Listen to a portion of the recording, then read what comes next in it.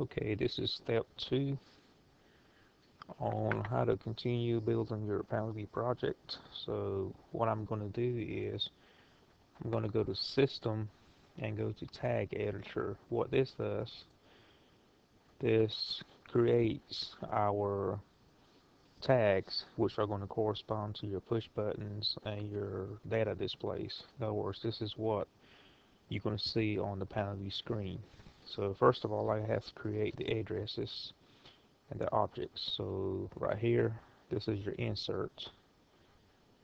So I'll click one time. So your instructor should give you a spreadsheet um, telling you how many objects to add.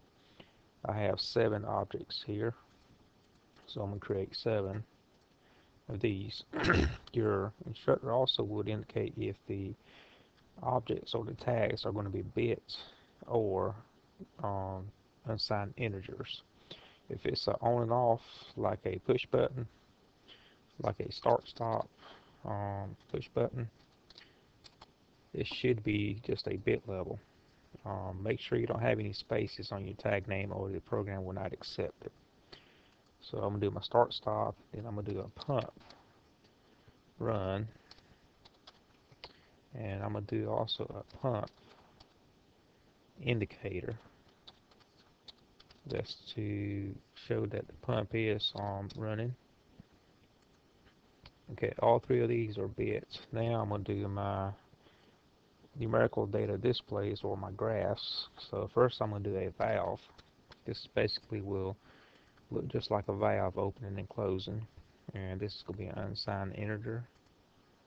The next thing is the water level which is a graph that shows me what the water level is. That's also an unsigned integer.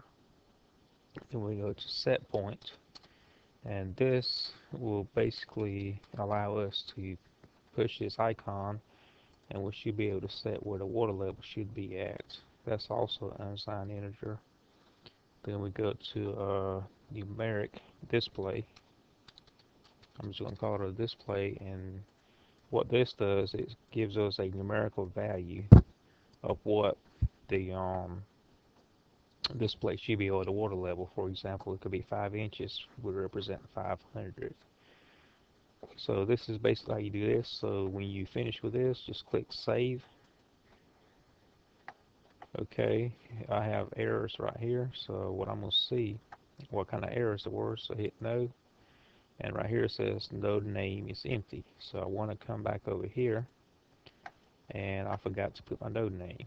So I'm going to double click here and I'm going to choose SLC 124 your instructor will give you this name also. You can copy and paste. So I'm going to hit the copy key and then come over here and then hit paste. Just back and forth like this this will save you some time.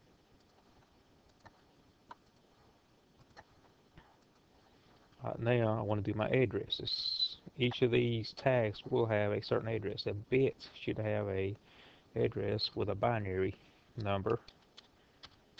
For example, this one will be slash 1 and this one would be slash 2 and then your valve again your instructor will give you all these addresses.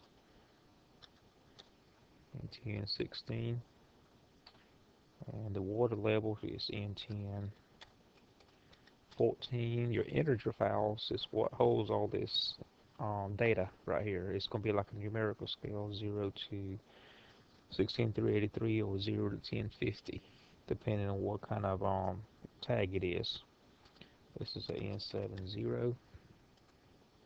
This is a N71. And let me hit click again and I'm going to hit save and see what happens.